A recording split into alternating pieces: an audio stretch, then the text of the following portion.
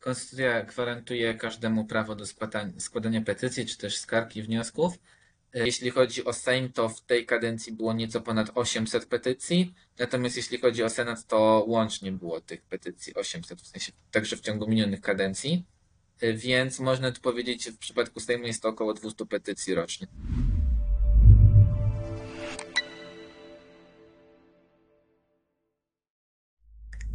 Narzędzi demokracji bezpośredniej jest wiele, o czym cały czas przekonujemy się w projekcie Instytut Demokracji Bezpośredniej. Dzisiaj na kanał zaprosiłam Daniela Dylewskiego. Dzień dobry. Dzień dobry. I będziemy rozmawiać o petycjach do Sejmu. Tak jak już tutaj wspomniałam na początku, petycje do Sejmu to jeden z mechanizmów właśnie demokracji bezpośredniej, to jednocześnie jeden z instrumentów sprawowania władzy ustawodawczej przez obywateli. Jak stworzyć taką petycję i złożyć taką petycję do Sejmu? Jakie informacje w ogóle na temat petycji możemy znaleźć w Konstytucji? Tak, y, więc odpowiadając na te pytania, Konstytucja gwarantuje każdemu prawo do składania petycji, czy też skarg i wniosków. Yy, te pojęcia generalnie nie są bardzo jasno zdefiniowane i tutaj mają różne też yy, szczegółowe znaczenie. No, warto też wspomnieć, że historycznie petycje w dużej mierze służyły ochronie indywidualnych praw i wolności. No teraz bardziej yy, dążymy do tego, żeby to było gwarantowane przez system sądowniczy, czy też przez Rzecznika Praw Obywatelskich. No oczywiście mamy też skargi i wnioski na poziomie powiedzmy niższym, czy też petycje na poziomie mhm. niższym, samorządowym, czy jakichś poszczególnych organów. Natomiast to, czym się szczególnie ja zajmuję, to jest, y, to są petycje do Sejmu i Senatu, y, więc one generalnie dotyczą co do zasady spraw ogólnych, y, czyli spraw będących w kompetencji Sejmu i Senatu, no a główną kompetencją Sejmu i Senatu jest, jak wiadomo, stanowienie prawa, czyli działalność ustawodawcza. I tutaj warto wspomnieć, że Y, proces złożenia takiej petycji jest bardzo prosty. Petycję może złożyć każda osoba, czy to fizyczna, czy prawna, mhm. Y, czy też grupa takich osób. Y, I generalnie tutaj jedna osoba podpisana ma taką samą skuteczność formalną jak na przykład 20 tysięcy, natomiast mhm. zdarzały się petycje podpisywane celowo przez więcej osób no z tej przyczyny, żeby wiadomo wywrzeć od razu jakąś formę presji. I co się dzieje z petycjami? No generalnie rzecz biorąc, te petycje są następnie rozpatrywane przez Sejmową Komisję do Spraw Petycji, czy też Senacką Komisję y, Praw Człowieka i Petycji. A czy ustawodawca określa, jaki ma być format tej petycji, jaki ma być jej e, kształt, czy na przykład jakieś terminy, jeśli chodzi o składanie tej petycji, potem procedurę rozpatrzenia? Y, generalnie rzecz biorąc, ustawodawca przewiduje, że petycja powinna być rozpatrzona w ciągu trzech miesięcy, natomiast ze strony obywatela nie ma takiego terminu. W sensie mówiąc wprost, na Sejm i Senat obradują zasadniczo w trybie ciągłym, więc te, te petycje można e, składać cały czas. E, co też mocno istotne i pozytywne, petycje nie podlegają w zasadzie dyskontynuacji. Z tym idzie, jeżeli na przykład byśmy wysłali petycję teraz, czy w ostatnim czasie, tak że ona nie mhm. zdążyła być rozpatrzona przez Sejm dziewiątej kadencji, to przejdzie do Sejmu kadencji y, dziesiątej. Natomiast ten termin trzymiesięczny, y, tu można powiedzieć słaba, słaba wiadomość z perspektywy obywatela może być przedłużony tak naprawdę bez jakichś y, poważniejszych konsekwencji czy powodów. A jak wygląda takie procedowanie petycji, kiedy już zebraliśmy właśnie podpisy albo złożyliśmy ją samodzielnie, bo tutaj też padło to, że możemy złożyć petycję samodzielnie jak wygląda to procedowanie w Sejmie, jak wygląda to procedowanie w Senacie i jaki jest schemat rozpatrywania petycji. Aha, tak. Więc generalnie rzecz biorąc, e, na samym początku zajmuje się tym e, kancelaria Sejmu czy Senatu. Ona ogólnie określa, e, czy ta petycja jest dopuszczalna. No generalnie, czy mieści się w zakresie prac Sejmu czy Senatu, znaczy mm -hmm. wprost, czy dotyczy jakiegoś y, generalnie ogólnego y, problemu.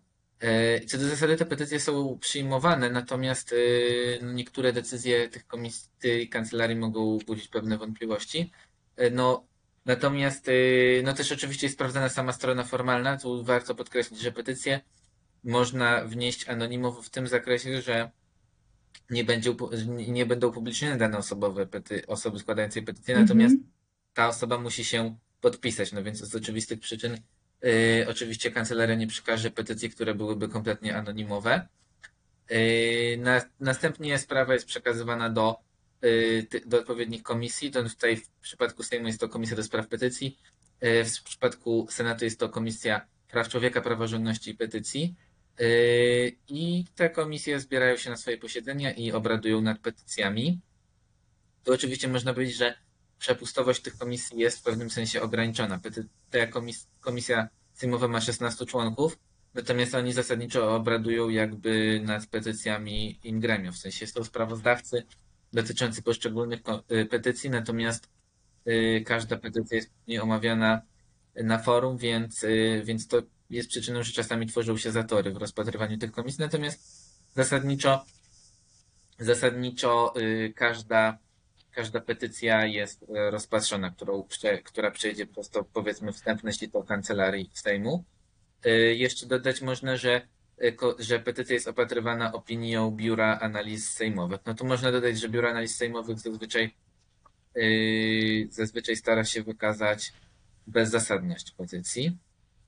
Natomiast, natomiast jeśli chodzi o samą komisję, no to ona ona ma różne stanowisko, no w sensie czasami może po prostu przychylić się do stanowiska Biura Analiz Sejmowych, natomiast nie jest z nim związana. No i e, tak jak mówiłem, no to oczywiście zazwyczaj jest, yy, zazwyczaj jest powiedzmy poseł, który się w sposób szczególny zajmuje konkretną petycją, natomiast yy, no tak jak wiemy, oczywiście pozostali posłowie nie są tym związani, więc w razie, w razie różnicy zdań dochodzi do głosowania, co z taką petycją zrobić. Jeśli taka petycja zostanie rozpatrzona pozytywnie, to co potem się z nią dzieje? Rozumiem, że najpewniej są różne drogi e, też potem tej petycji, bo to nie jest tak jak w przypadku inicjatywy ustawodawczej, czy na poziomie samorządowym inicjatywy uchwałodawczej, że mamy od razu propozycję jakiegoś konkretnego aktu. Znaczy tak, to może od razu powiem, jeżeli ktoś byłby zainteresowany z nas słuchających składaniem petycji, y, że generalnie petycja może mieć mocno ogólną treść, ale może mieć też treść bardziej szczegółową. Mhm. Na przykładowo e, możemy zawrzeć postulat, no tak, dajmy na to obniżenia podatku i obniżenia podatków i nie precyzować. Natomiast można zawrzeć powiedzmy propozycję obniżenia stawki PIT z 12 do 11% mhm. Y, i zapisać to w konkretnej formie, jak to mogłoby wyglądać. No tu oczywiście, y, jeżeli zależy nam na konkretnej zmianie ustawowej, to wiadomo, że przedstawienie ogólnego zarysu i konkretnej propozycji jest, jest lepsze pod tym kątem, że petycja już ma gotowy pomysł. Natomiast no, takie, no wiadomo, oczywiście petycja nie jest y, tym y, związana w tym sensie, że może przedstawić komisyjny mm -hmm. projekt ustawy. No i generalnie zdarza się, że to robi, natomiast nie jest to bardzo częste. I tu jak, jak komisja się odnosi do projektów? No często komisja uznaje projekty za bezzasadne. No tu w szczególności warto podkreślić, że projekt petycji dotyczy sprawy bardzo ogólnej, bardzo ważnej, czyli ustawy, natomiast może być zgłoszony przez dowolnego y, człowieka, no więc y, tu wiadomo, że pomysły mogą być bardzo różne, mniej czy bardziej przemyślane, czy mniej czy bardziej skrajne. Y, natomiast no, Komisja do Spraw Petycji, co też w jakiejś mierze podkreśla w swoich pracach, stara się nie być powiedzmy głównym, głównym źródłem prawodawstwa, w sensie takim stara się być bardziej subsydiarnym, i przykładowo w niektórych, w niektórych sprawach komisja uznawała pełną słuszność petycji, natomiast uznawała, że sprawa jest zbyt ważna czy zbyt kompleksowa i nie powinna być zgłaszana przez Komisję do Spraw Petycji. No to takim przypadkiem była kwestia wynagrodzenia pierwszej damy, gdzie była zgoda członków komisji, natomiast uznali, że nie powinna tego składać akurat ta komisja. E, natomiast no jeśli chodzi o sprawy na przykład z kolei kontrowersyjne, bo tu warto podkreślić, że petycje dotyczą spraw różnych. To, na, mhm. to zdarza się, że nawet, yy, nawet być członkowie klubów, którzy zasadniczo z treścią petycji się zgadzają, uważają, że tak ważna sprawa nie powinna być yy, podejmowana w takiej formie. No to kwestia była bodajże związków partnerskich czy małżeńsko-homoseksualnych, gdzie nawet przedstawiciel lewicy zgodził się, że, no, że jakby nie powinno się tak ważnej sprawy regulować na podstawie pojedynczej petycji. Mhm. Natomiast Y, No oczywiście, jeżeli komisja uważa, że, że sprawa jak najbardziej zasługuje na uznanie, to może po prostu przedstawić projekt y, i później jest on jakby, no, no po prostu ma prawo do inicjatywy ustawodawczej ta komisja. E, Natomiast może też wystosować dezyderat, czyli odpowiednie zapytanie do ministerstwa, no i często to robi i to może być później przesłanką do kolejnych dalszych działań, no czy też w jakiejś mierze stanowi motywację dla y, odpowiedniego ministerstwa do podjęcia y, pe- pewnych działań. Y, No czy po prostu czasami bywa tak, że y, komisja wprost nie stwierdza, że dane zagadnienie, że dana petycja jest bezzasadna, ale w zasadzie decyduje się nic nie zrobić. Zanim przejdziemy do praktycznej części, dziękuję tutaj za to wyjaśnienie tej teorii i wszystkich procedur, które są po kolei. Chciałam się jeszcze zapytać, gdzie możemy znaleźć informacje na ten temat, jak składać te petycje, jak właśnie ją wnosić, jaki jest schemat jej e, potem rozpatrywania. Y, No to na stronie Sejmu, czy konkretniej na stronie y, Komisji do Spraw Petycji, odpowiednio na stronie Senatu, są te informacje. No i tu bym podkreślił, że samo złożenie petycji jest naprawdę bardzo odformalizowane. Można je zrobić zarówno w formie elektronicznej na skrzynkę podawczą, albo można wysłać w wersji papierowej. Tu nie ma żadnego przymusu adwokacko-radcowskiego. Eee, No, wystarczy podpis jednej osoby, nie ma żadnych opłat, y, tak jak powiedzmy są w procesach sądowych opłaty sądowe. I też, Mhm. y, no i też tak jak mówiłem, jakby petycja może zawierać konkretną propozycję ustawy, natomiast może po prostu dotyczyć zagadnienia w stylu ureguluj, proszę o uregulowanie danego tematu w danym kierunku. No i oczywiście najlepiej jest podać uzasadnienie, ponieważ wiadomo, że uzasadnienie ma, ma jakąś możliwość przekonania członków petycji, czy członków komisji. Yy, tak, no zwłaszcza, zwłaszcza, że bardzo dużo tych petycji dotyczy powiedzmy wprost zagadnień dość niszowych, o których przeciętny człowiek wcześniej nie wiedział i prawdopodobnie przeciętny poseł też wcześniej nie wiedział, więc jakby dobre uzasadnienie ma szansę Mhm. na przekonanie. Jak często obywatele, obywatelki korzystają z możliwości składania petycji? Ile tych petycji zostało złożonych, czy to właśnie jeszcze w tej obecnej dziewiątej kadencji Sejmu, czy w poprzednich latach? Więc tak, generalnie dość dobre uregulowanie do spraw tych, tego zagadnienia się pojawiło dopiero y, w 2014 czy 2015, no de facto od 2015 roku, więc tak naprawdę o popularności tego środka możemy mówić od 2015 roku, czyli Mhm. dwie poprzednie kadencje Sejmu. Y, I jeśli chodzi o Sejm, to w tej kadencji było nieco ponad 800 petycji, natomiast jeśli chodzi o Senat, to łącznie było tych petycji 800, w sensie także w ciągu minionych kadencji. Y, Więc można tu powiedzieć, że w przypadku Sejmu jest to około 200 petycji rocznie. Czyli całkiem sporo, bo to właściwie jest petycja codziennie albo co e, drugi dzień. Tak.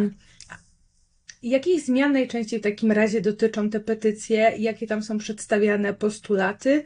Y, Czy można w ogóle tak to jakoś kategoryzować, że jakieś tematy są powszechniejsze od innych? Czy mimo nawet tej ogromnej liczby one są na tyle różnorodne, że trudno jest je dopasować do jakichś kategorii? No więc y, generalnie ja bym wskazał trzy, trzy takie typy, natomiast y, podkreślmy, że tematyka jest bardzo różnorodna, w sensie dotyczy czy, czy prawa karnego, cywilnego, prawa administracyjnego, podatkowego. Natomiast mówiąc tak powiedzmy motywacyjnie, to bym wskazał, że, nie, że część petycji dotyczy, bym powiedział, bardzo poważnych zagadnień, często nawet kontrowersyjnych, tak jak wspominałem na przykład o związkach partnerskich, czy, czy, czy nawet chyba małżeństwach homoseksualnych, e, no to są zagadnienia mocno polaryzujące, natomiast no, złożenie petycji wymusza na jednym z organów Sejmu zajęcie się tematem. E, No czy też podobnie była kwestia renty wdowej, no to jest dość poważny Mhm. temat i ona była najpierw składana w postaci petycji, no później była obywatelska inicjatywa ustawodawcza. E, Czy też podobnie było z kwestią finansowania in vitro, że najpierw były petycje, później była inicjatywa ustawodawcza. Tak więc niektóre z tych petycji pokrywają się de facto z tematami ob- obywatelskich inicjatyw ustawodawczych. Mhm. Natomiast duża część dotyczy, bym powiedział, spraw mocno y, niszowych. I tutaj są dwie główne motywacje y, składających, ja bym stwierdził. Y, ponieważ jak przeglądałem stronę komisji, to natknąłem się, że niektóre nazwiska inicjatorów się pojawiają bardzo często i są to osoby prywatne, co ciekawe. I te osoby składają petycje w bardzo różnych sprawach, różnych drobnych ustaw, no i tu można stwierdzić, że po prostu są to osoby, które, no nie wiem jaką mają konkretnie sytuację zawodową, natomiast prawdopodobnie mają takie, można być, poczucie misji i naprawienia prawa, naprawienia jakichś różnych błędów ustawodawczych. W sensie to są często drobne zmiany typu na przykład w ustawie jest odwołanie do organu, który istniał w PRL-u, y, organ już nie istnieje, natomiast w ustawie nie został zmieniony, więc to są często tego typu zmiany.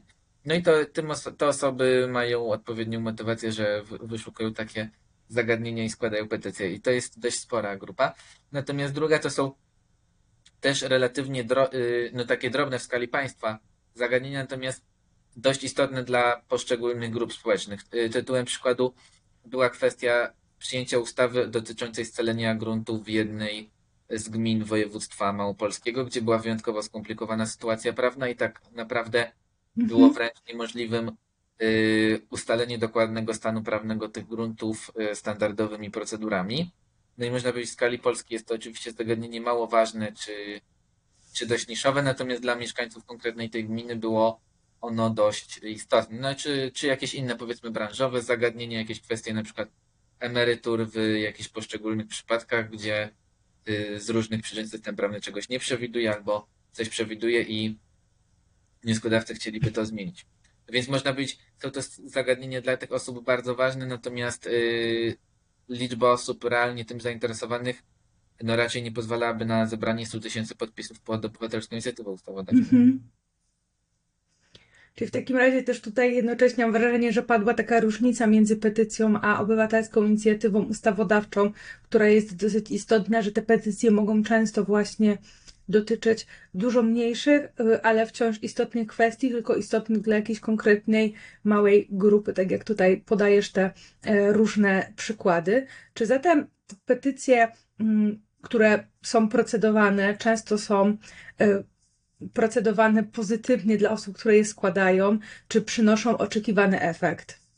No ja bym powiedział, że finalnie to się zdarza dość rzadko, Mhm. natomiast, yy, natomiast nie zmienia to faktu, że perspektywy osób zainteresowanych jakąś formą lobbingu jest to moim zdaniem bardzo dobre rozwiązanie, bo pamiętajmy, że inicja, że koszt jakby takiej inicjatywy jest bliski zeru, no bo de Mhm. facto dla wnioskodawcy wystarczy napisać taką petycję i jednocześnie daje jakieś szanse na pozytywne rozpatrzenie, natomiast na pewno można powiedzieć, y, zarzuca temat w przestrzeni publicznej i też y, pozwala na wybadanie nastrojów, no bo jeżeli by się ujawniły w Komisji do Spraw Petycji jakieś różnice zdań, to na przykład taki wnioskodawca może później wiedzieć, posłowie których klubów na przykład są bardziej przychylnie nastawieni. No to z pewnością w takim razie, jako takie wypadanie terenu, jest to y, dobry pomysł. Stąd też pewnie, tak jak wspominałeś, część tych petycji pokrywa się z obywatelskimi inicjatywami ustawodawczymi.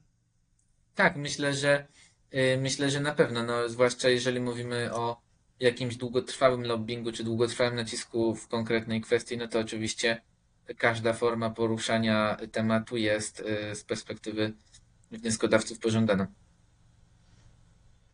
E, Mówisz o tym, że nie zawsze od razu przynoszą te petycje oczekiwany efekt, ale często właśnie są takim początkiem wrzucenia tego tematu do debaty publicznej. Czy zatem możemy mówić o tym, że petycje są potrzebne e, i są skutecznym narzędziem demokracji bezpośredniej? Czy mamy inne narzędzia, które są skuteczniejsze? To znaczy powiedziałbym tak, możliwe, że są inne skuteczniejsze, natomiast y, trzeba patrzeć też na stosunek cen, y, ceny do efektu Mhm. i uważam, że w sensie, no tutaj kwestia referendum to jest nieco co innego, ponieważ tutaj jakby nie tyle inicjatywa jest po stronie obywateli, co obywatele mieliby finalnie decydować. Natomiast porównując na przykład z inicjatywą obywatelską, yy, oczywiście nie, negu, nie negując roli obywatelskiej inicjatywy ustawodawczej, to pamiętajmy, że yy, no, zebranie 100 tysięcy podpisów w określonym przedziale czasu to jest dość ciężkie zadanie i dość kosztowne, a realnie, realnie tak naprawdę można założyć, że wartość takiej obywatelskiej inicjatywy nie jest dużo większa z perspektywy wnioskodawcy, bo yy, i tak, i tak wszystko się rozbija o wolę posłów. I jeżeli posłowie będą przekonani do tematu, to mogą yy, z petycji, petycję zamienić na inicjatywę ustawodawczą, natomiast no, obywatelską inicjatywę ustawodawczą mogą po pierwszym czytaniu y, schować do zamrażarki, jak to w praktyce się często dzieje, bo też zauważmy, że tych obywatelskich inicjatyw ustawodawczych jest stosunkowo mało i one głównie dotyczą tych zagadnień y, szczególnie kontrowersyjnych, no takich jak aborcja czy, czy, LG, czy LGBT. I one zazwyczaj, co jeszcze ciekawsze, mają powiedzmy takie biegunowo przeciwne y, projekty, czyli mamy na przykład jednocześnie projekt zakazujący aborcji i projekt liberalizuj, no, legalizujący aborcję. Mhm. Więc y, natomiast mało jest projektów w tematach powiedzmy gospodarczych czy administracyjnych, bo one nie budzą aż tak dużych emocji. Więc uważam, że petycje są jak najbardziej potrzebne. Yy, No bo patrząc choćby na samą liczbę, tak, nie byłoby opcji, żeby było 800 inicjatyw ustawodawczych obywatelskich, a jednocześnie z perspektywy samych posłów często takich problemów małych grup yy, się nie widzi. Mhm. No też na pewno trudno widzieć problemy małych e, grup, kiedy tych e, posłów jest e, niespełna 500, a tak naprawdę możemy mieć jakby na terenie gminy czy konkretnej grupy zawodowej problemy, o których jeśli ci posłowie, posłanki nie mają bezpośredniego dojścia, trudno jest się w jakiś sposób dowiedzieć. Tak, dokładnie. No tu przykład choćby tej gminy z Małopolski. Mhm. No co prawda potencjalnie można by założyć, że posłowie z tego okręgu powinni o sprawie wiedzieć, no ale też mogli nie mieć na przykład wystarczającej motywacji, żeby to przedstawić. No tutaj jak już sprawa powiedzmy przyszła jako petycja, to trzeba się było nią zająć. No Mhm. i Komisja do Spraw Petycji stwierdziła, że faktycznie nie ma, nie ma przesłanek, żeby nie złożyć takiej inicjatywy ustawodawczej. Bardzo dziękuję za rozmowę i przedstawienie petycji. To chyba pierwszy raz, kiedy właśnie tutaj na kanale petycja do Sejmu się pojawia, a to tak jak e, wynika z rozmowy, też jest nawet jeśli nie bezpośrednio od razu skuteczne narzędzie, to przynajmniej takie, które pośrednio jest w stanie ruszyć jakiś temat i przynosić efekty, a też przecież o to w demokracji bezpośredniej chodzi. Tak, dziękuję bardzo za możliwość przedstawienia tego stosunkowo mało zbadanego zagadnienia. A Was, widzów i widzki kanału lub bezpośrednio zachęcam czy to do włączenia się w dyskusję w komentarzach, czy do subskrybowania naszego kanału. My na pewno będziemy się jeszcze widzieć. Z tej strony mówiła do Was Agata Kępa, a dziś gościłam Daniela Dylewskiego. Do zobaczenia.